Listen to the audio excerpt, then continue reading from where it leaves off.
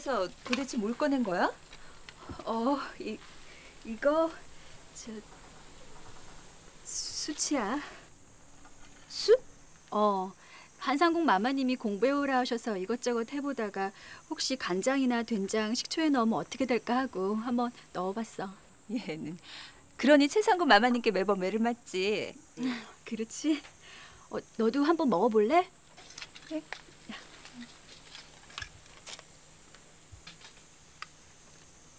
래. 쏘는 식초 맛이 싹 없어져 버렸잖아.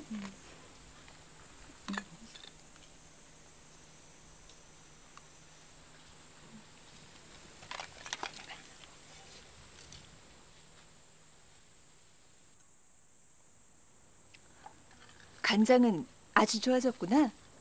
음. 내가 수출 깨봤더니 아주 작은 구멍으로 돼 있더라고. 그래서 그런지 냄새를 잘 빨아들이는 것 같아. 간장은 잔맛이 싹 없어지니까 훨씬 좋지. 그래, 좋다. 이건 한상구 마마님께 얘기해서 다른 간장에도 넣자고 해도 되겠다. 정말? 그래도 되겠어?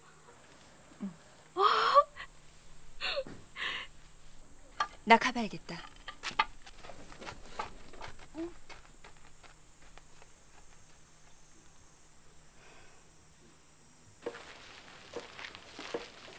이젠 모든 방법을 다 써보는 수밖에 없다. 최상공은 내 식대로 음식을 하거라. 예. 혹 그도 안 드실 수 있으니 한상공은 산약죽을 끓이되 식욕부진에 효과가 있는 진피와 사인, 백두구를 넣어보거라. 맛있는 것도 아니 드시는데 약재가 들어간 것을 드시겠습니까? 허니 어찌 하느냐. 이젠 달리 써볼 방법도 없는 것을. 내 의원에서 병으로 인한 것은 아니라 하나 워낙 말이 없으시고 심약하신 분이라 남모를 심려로 인하여 진지를 안 잊으실 수도 있다. 민상궁은 말린 대추를 구워 가루를 내고 차조기님도 가루를 내 음식마다 넣어보거라. 예. 하나 워낙 군 것은 아니 드시고 밥만 드시는 분이라 밥에다 뭘 넣을 수도 없고 무슨 일이요? 전하께서 오늘 저녁 술은 아예 지지도 말라는 분이시옵니다. 뭐라고요?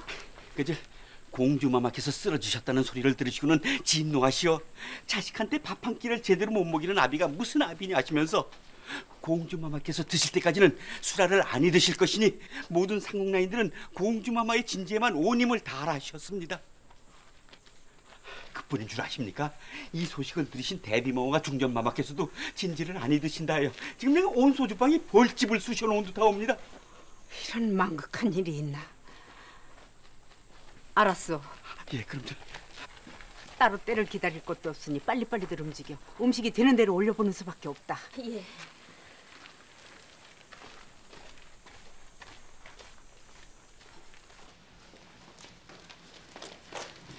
된장 가져왔느냐? 마마님, 왜? 이번 진지는 제게 한번 맡겨주시면 안 되겠습니까? 왜? 무슨 묘안이라도 있느냐?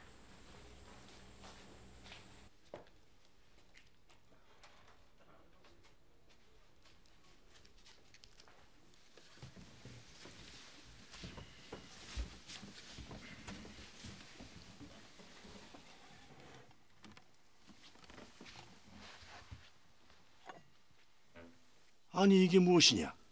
입맛 돋는 특별식도 아니 드시는데 어찌 이리 무성의한 밥상을 들여온단 말이냐? 송구하옵니다. 하오나 죽을 한 수저만 뜨시게 하여 주시옵소서. 이런 발칙한 것을 보았나? 당장 상을 다시 차려오지 못할까? 당장 물리거라, 당장. 예.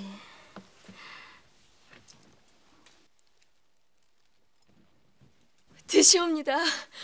공주마마께서 드시옵니다. 이젠 드실 수가 있으시겠습니까? 이리 드실 것을 어찌 윗분들의 심려를 끼치셨습니까? 상가 마마께서 얼마나 심려가 크셨는데요. 실은 예, 마마. 무엇 때문이었습니까? 이 죽은 냄새가 나지 않습니다. 냄새요? 냄새요?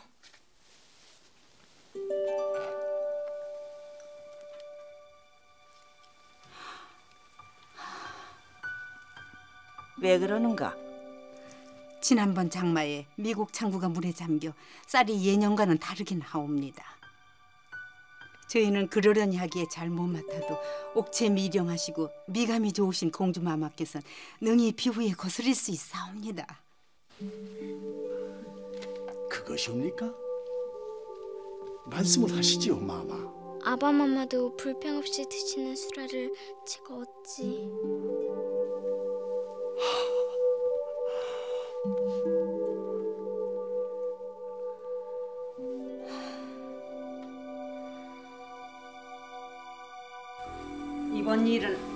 어른들과 달리 유난히 비위 약하신 어린 공주마마께서 밥 자체에 거부감이 생겨 벌어진 일이다. 허나 누구도 식별하지 못한 그 냄새를 최상궁이 깨끗이 해결하였다. 무엇으로 밥의 잔맛을 없앤 것이냐? 아니옵니다, 마마님. 그 생각을 해낸 것은 제가 아니었고 금영이옵니다. 어, 그래? 어찌한 것이냐? 수치옵니다. 숯? 예, 숯을 넣었더니 밥에 잡내가 사라졌습니다. 그걸 어찌 알았어? 장금이가 간장에 숯을 넣어 잡내를 없앤 것을 보고 생각이 미쳤습니다. 간장에 숯을 넣었다. 예, 마마님. 간장의 군내를 없애 맛이 아주 좋아졌습니다. 한번 맛보아 주십시오. 그래, 내 그리 하마. 오늘 너희들의 모습을 보니 기쁘구나. 다들 금영이를 본받아 항상 생각하고 연습하여 어찌하면 더 나은 것을 만들 것인지를 늘 염두에 두도록 하여라. 마마님, 마마님. 무슨 일인가? 동부승지 영감이 급히 뵙자고 하십니다. 무슨 일인데? 자세히는 모르나 아마도 명나라에서 사신이 온 때문인 것 같습니다.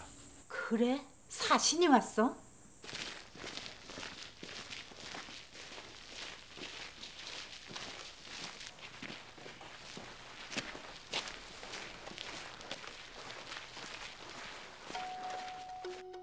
이번 상감마마의 생신 진여는 조촐하게 하려는 의명이 계셨으나 명 황제폐하께서 보내신 사신이 오면서 상황이 바뀌었소이다. 사신의 말로는 전하의 생신을 축하하러 온 사절단이라 하고 명 황제에서 직접 키우던 금괴를 가져왔소이다.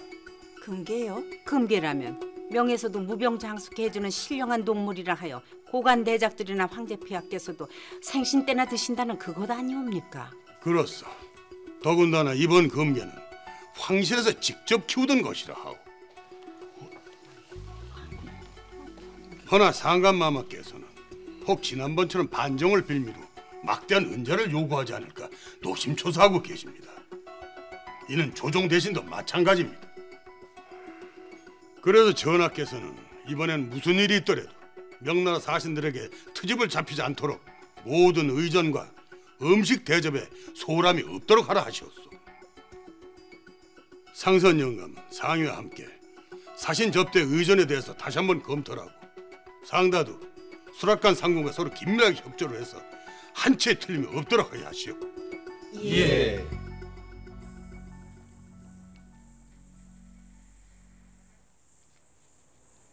생신상 의궤를 잘 보았느냐? 금괴가 이번 생신 진연에 올려줍니까? 금괴라면 대국 사천성에서 나는 것인데 집안의 재앙을 막아줄 뿐더러 불로 장생의 영약이라 하여 진시황 때 올려졌다지 아마. 최상국 마마님께서는 금괴를 보신 적이 있으십니까? 오라버니께서 대국과 교류를 하시어 두어 번 본 적이 있고 직접 만들어 본 적도 있다. 더구나 이번 금괴는 황제 폐하께서 직접 사신을 보내 하사하신 것이다. 또한 전하께서 지난번 같은 낭패가 있을까 심려가 크시니 사신의 대접이나 생신진연에서 책 잡힐 일은 결단코 없어야 한다. 그럼 이번 생신상의 주 음식인 금괴는 최상궁이 맡도록 하고 찜과 구이 적은 한상궁이 하고 전과 채는 민상궁이 하도록 하여라. 예, 마마님.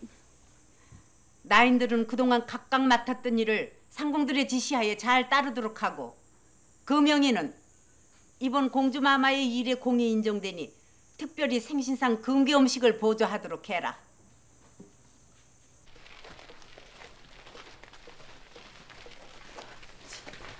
아주 승승장구구만. 나이인데 이제 5년이 된 나도 이제 겨우 찜음식 중찬 나이인데 금영이는 하찬 상궁이나 하는 생신상 음식 보조이니? 언니도 공을 세우세요.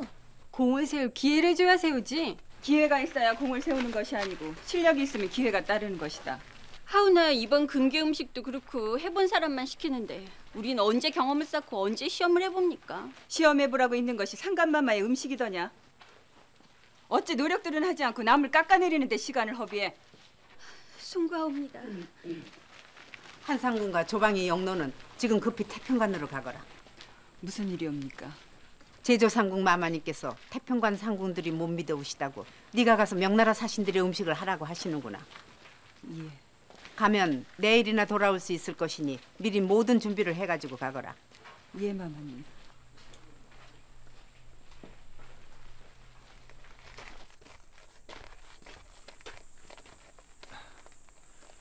더할 나위 없이 귀한 것이니 잘 간수하셔야 합니다. 예.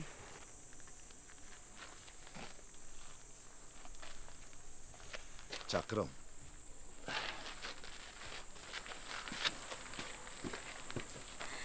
나는 금괴 음식에 필요한 재료를 구입하러 출궁하니 너는 이것을 사육장에 가두고 생신날 아침까지 극진히 돌봐야 한다. 알았느냐? 예, 마마님. 걱정 마시고 다녀오세요.